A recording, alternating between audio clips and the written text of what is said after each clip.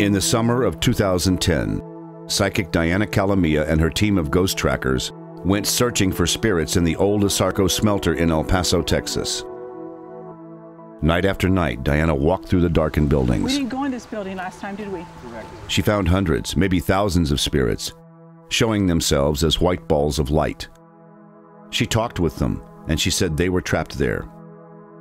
Find out why they were unable to leave, and see what happens next.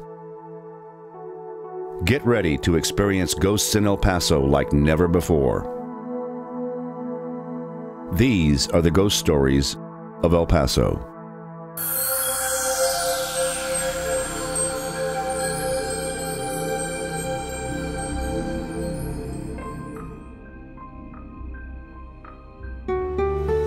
The Asarco smelter had been a landmark in El Paso for more than a century. It began operating in 1887 and closed in 1999 when copper prices fell. The smelter never reopened and went into bankruptcy. It was the backbone of El Paso's economy for more than a hundred years. At times, thousands of people worked here, sometimes on three shifts of 400 workers each. The smelter was a dangerous place, and many workers were injured or killed there. It had its own hospital and its own cemetery. Psychic Diana Calamia toured the plant just before demolition began. Her mission was to comfort the lost souls she encountered and help send them on their way.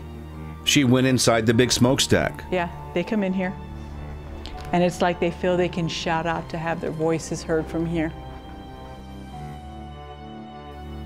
The powerhouse, They're not letting me cross yet. and the original 1887 administration building. Get ready to experience ghosts in El Paso like never before. These are the ghost stories of El Paso.